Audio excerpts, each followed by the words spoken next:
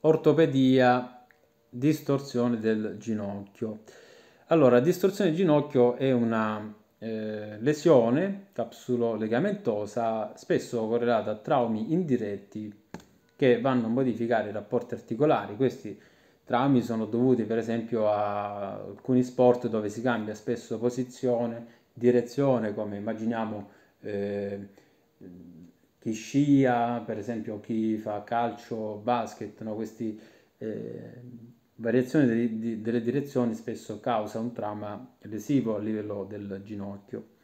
E poi insorge anche in incidenti stradali, è più raro però può esserci. Inoltre mh, l'età media è 20-30 anni, anche perché questi traumi eh, sono di origine sportiva, quindi eh, per forza eh, più frequente in queste fasce di età. Di solito abbiamo vari tipi di distorsioni, vedete come frequenza, soprattutto il ginocchio la caviglia o quello del piede sono i più frequenti e poi anche nel gomito, forse un po' più questi ne pallavolo, pallamano, pallanuoto e poi dita e rachide. La classificazione in tre gradi è molto semplice perché nel primo grado abbiamo una semplice distrazione o distorsione di alcuni fasci.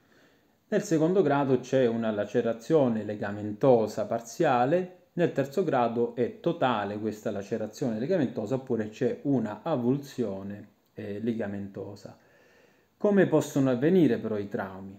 Allora i traumi avvengono in vario modo, vediamo se riesco a racchiuderveli tutti insieme, spero che si vede, comunque eh, sono eh, di vario tipo. Abbiamo dei traumi in valgo o valgismo flesso extra rotazione, quindi valgismo, flessione e rotazione esterna, in cui c'è una sollecitazione in valgismo del ginocchio in flessione e la tibia extra ruotata. Ok, quindi la tibia extra ruotata e il ginocchio viene sollecitato in valgismo e flessione. E quindi in questo caso immaginate di fare questo movimento, verrà sollecitato prima il collaterale interno, poi eh, si lacera il crociato anteriore e poi il punto angolo postero interno. Mentre se abbiamo un trauma in varo flesso rotazione interna, quindi abbiamo il ginocchio in flessione, no? una sollecitazione in varismo, poi una eh, ginocchio in flessione, la tibia è intraruotata, ovviamente il crociato anteriore con questo movimento andrà a, ehm, ad avere una lesione, una distorsione e in particolare eh, questo può essere dovuto a un salto, a un cambio di direzione. Poi un trauma in varismo a ginocchio esteso eh, o in valgismo.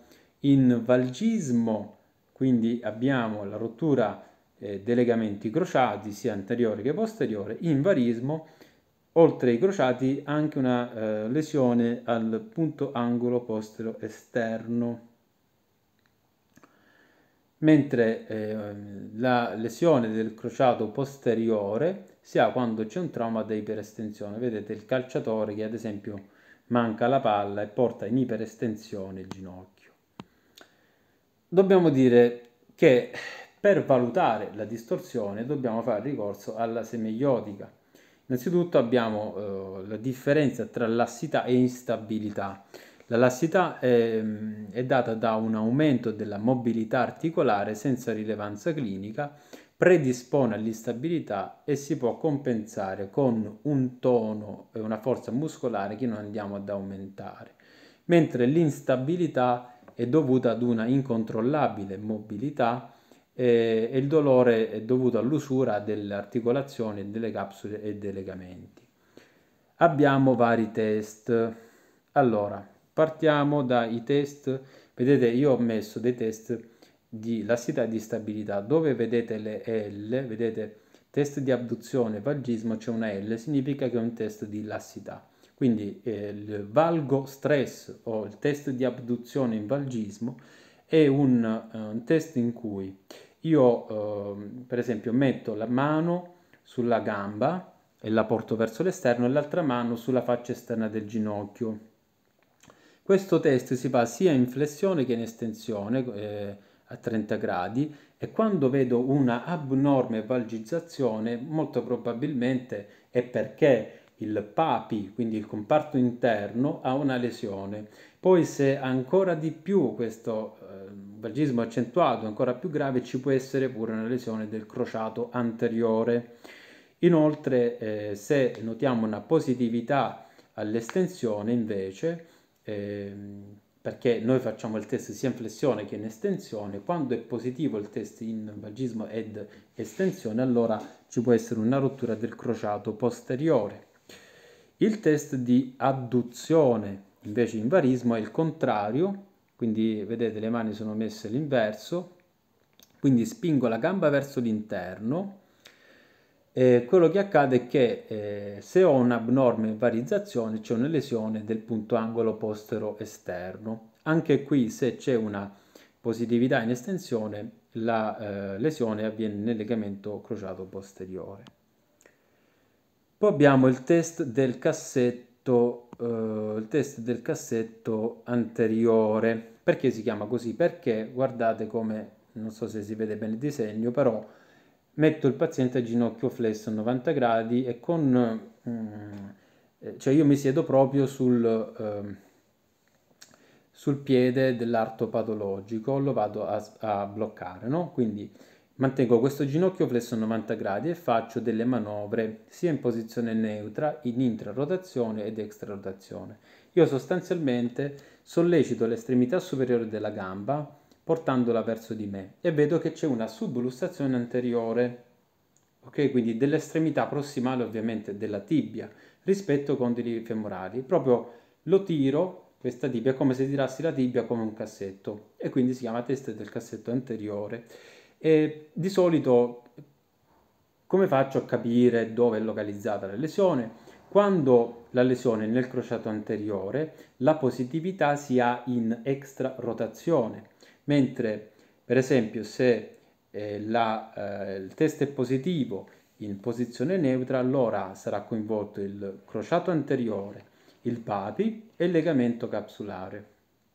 Mentre se la lesione intacca il crociato posteriore, di solito la positività si ha in intrarotazione.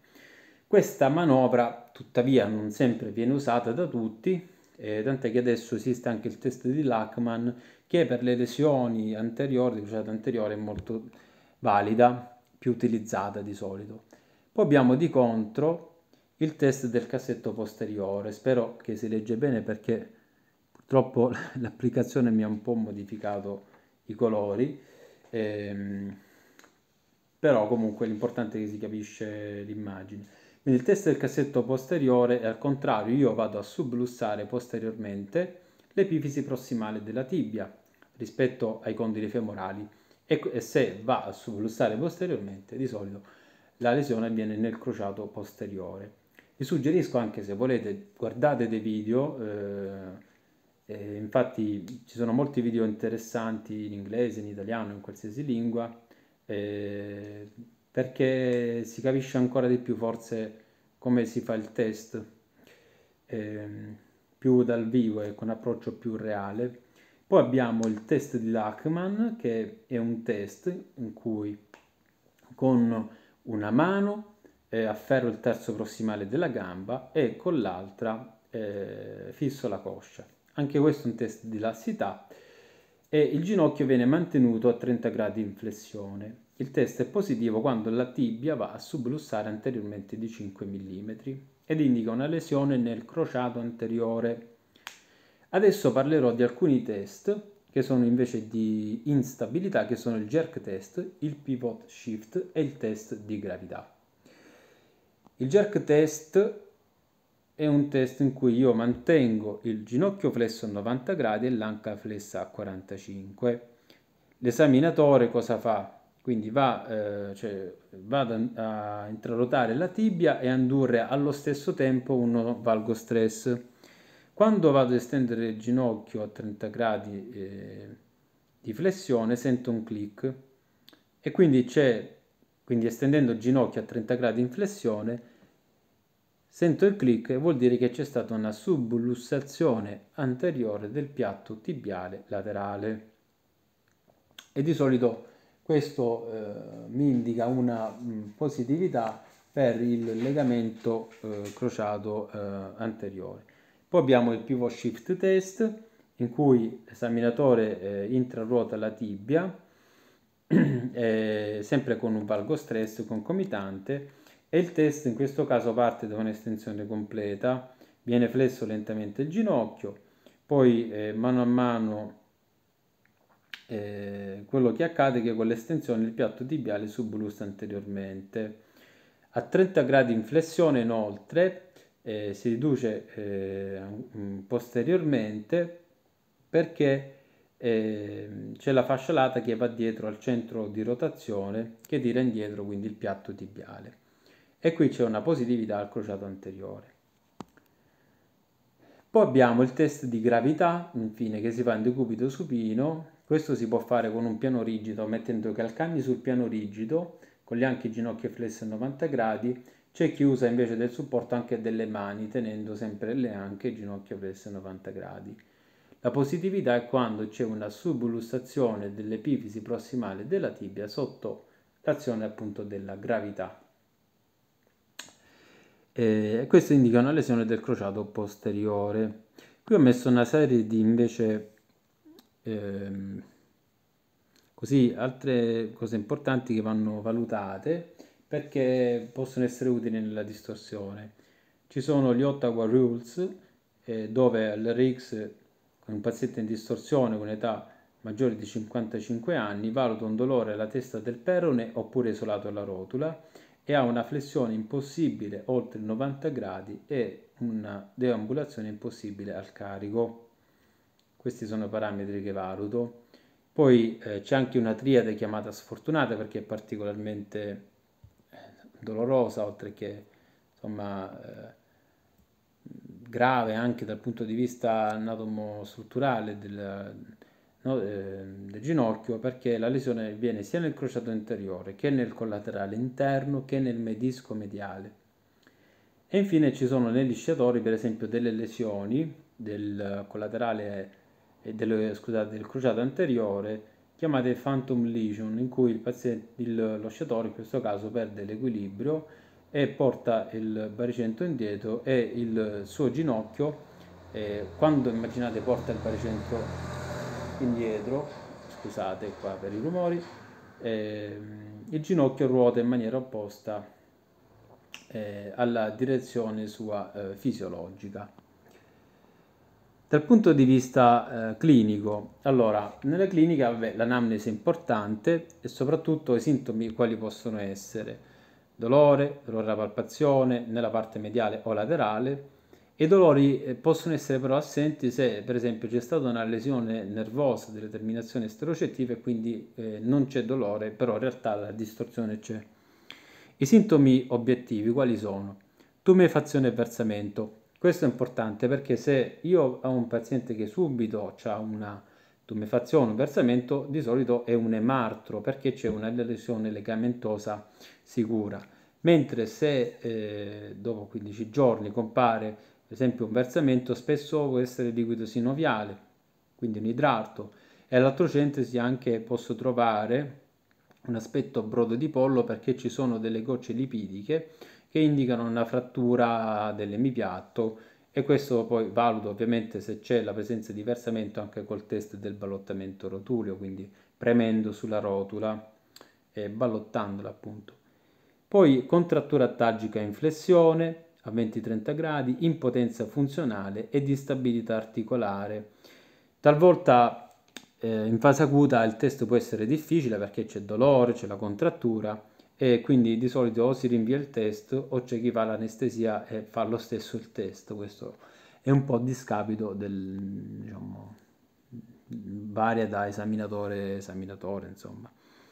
Poi abbiamo eh, gli esami strumentali, l'RX eh, mi serve per escludere fratture, l'eco mi serve per valutare i collaterali, quindi perché ovviamente possiamo vedere subito no, con l'ecografia se ci sono rotture dei legamenti collaterali, mentre se devo valutare i menischi o i crociati uso sicuramente la risonanza magnetica o la TAC. Poi qui ho messo le complicanze che sono immediate o tardive, Immediate sono le fratture dell'empianto tibiale e le spine tibiali, quindi per tale motivo vado anche a fare l'RX. Quelle tardive sono instabilità per lesioni del crociato anteriore oppure la calcificazione del legamento collaterale eh, nella sua estremità prossimale e questa calcificazione è dovuta a una disinserzione del legamento dal condilo mediale, chiamata anche eh, sindrome, se vogliamo così dire, di Pellegrini-Stieda. Il trattamento può essere innanzitutto medico, perché si usa il metodo RICE, cioè eh, Rest, Ice, Compression, Elevation. Io qua l'ho scritto un po' in italiano, un po' in inglese, però eh, R sta per riposo, quindi perché evito i danni, I sta per ice, quindi ghiaccio, perché il ghiaccio eh, riducendo l'essudato e la vasocostrizione, quindi riducendo la vasocostrizione eh, è un antinfiammatorio, quindi riduce l'essudato e facilita la vasocostrizione. Poi abbiamo la compressione perché riduce il versamento, blocca i microsanguinamenti, l'elevazione perché ovviamente elevando l'arto aumenta eh, la, la, cioè la, meglio si riduce la pressione e quindi faccio drenare no? più il sudato e riduco il versamento. Poi il trattamento medico prevede anche una profilassi antitrombocitemica, antinfiammatoria e antidolorifica. Vado a ricercare i polsi periferici, vabbè, e poi l'esame neurologico perché ci può essere lo sciatico oblito esterno che viene leso, lesionato. Poi eh, trattamento ortopedico, eh, vabbè, qui una cosa, diciamo un po' un riassuntino, poi eh, infatti dopo diremo tutte le varie tecniche. Quindi eh, trattamento conservativo si fa negli anziani o lesioni lievi, chirurgico nei giovani o lesioni gravi. Le lesioni lievi vengono trattate con il eh, bendaggio elastico, quelle gravi con artrocentesi se c'è versamento e poi eh, si utilizza un gesso, una ginocchiera per immobilizzare. Nelle lesioni meniscali chirurgia, nelle lesioni centrali, quindi del crociato anteriore, si ricorre alla chirurgia. Ora vediamo un po', eh, spero che si capisce, purtroppo a volte devo scrivere anche un po' veloce. Eh, niente, eh, partiamo dal crociato eh, collaterale mediale, scusate, mm, prima si operava, adesso non più, a meno che non c'è proprio una lussazione, eh, quindi faccio un trattamento conservativo eh, se eh, c'è un ginocchio soprattutto in varismo, quindi metto un gesso con ginocchio flesso 90 gradi, ah, sì, scusate, 30 gradi, andando a detendere il collaterale mediale e si ha una cicatrizzazione dopo tre settimane. Quindi Diciamo che nel collaterale mediale il trattamento è conservativo. Nel collaterale esterno invece eh, il trattamento è chirurgico, esploro il nervo sciatico per vedere se ci sono delle anomalie e riparo poi il legamento eventualmente con ancorette con delle viti. La chirurgia invece anche viene utilizzata nelle lesioni del eh, legamento eh, crociato anteriore eh, di solito nella fase acuta è meglio la, la chirurgia perché possiamo in avere delle complicanze come le lesioni meniscali eh, o cartilagine eh, che viene lesa per, mm, perché queste poi possono portare a un'instabilità articolare. Di solito comunque quando noi abbiamo eh, la rottura del crociato anteriore e del collaterale esterno si può avere un'instabilità mentre se abbiamo una rottura eh, del crociato del collaterale mediale eh, c'è eh, un basso rischio o assente di instabilità. Mentre eh, si ricorre alla, alla chirurgia spesso se il test JERC è positivo, mentre non si ricorre se il LACMAN è negativo. In artroscopia cosa possiamo fare? Praticamente possiamo prelevare un pezzo autologo di tendine dal rotulio, dal gracile insieme al semitendinoso. Adesso esistono anche dei legamenti sintetici. Comunque questo prelievo di legamento poi eh, viene preso sto, parte di legamento e portato nel ginocchio e fissato con delle viti alla tibia in basso e eh, al condilo in alto. Mentre per quanto riguarda i menischi, qui ho fatto una piccola così, introduzione anche perché poi parleremo delle lesioni meniscali. Si può fare la meniscopessi dove si sutura il menisco e le strutture capsulari. Eh, ricordando, qui ho scritto solo un cenno, che il menisco di solito ha una parte avascolare, una no, ehm, vascolare. Quella vascolarizzata all'esterno di solito si ripara da sola e non c'è bisogno di fare in realtà la chirurgia, mentre se la lesione è più interna si fa la chirurgia. Poi come vedremo in realtà nelle lesioni meniscali, eh, vi faccio così un piccolo spoiler, abbiamo ehm, di solito eh, la meniscopessi viene fatta ehm, nei casi un po' più gravi, se no si può fare anche la meniscectomia, cioè si toglie una parte di menisco per via selettiva, ehm, oppure quella totale, dipende ovviamente da, da quello che accade. Quella selettiva di solito si fa se c'è una parte più interna, ehm, più lesionata, mentre quella totale soprattutto nel menisco esterno è degenerazione cistica. Comunque per quanto riguarda il menisco, tanto faremo la, um, un video su proprio le lesioni meniscali e lì tratto proprio la meniscectomia e la meniscopessi in maniera un po' più chiara anche. Per questo è tutto, spero che eh, gli argomenti sono chiari, so che sono abbastanza complessi, devo essere sincero, però eh, importante che qualcosa sia rimasto. Per qualsiasi eh, chiarimento, dubbio o correzione, commentate.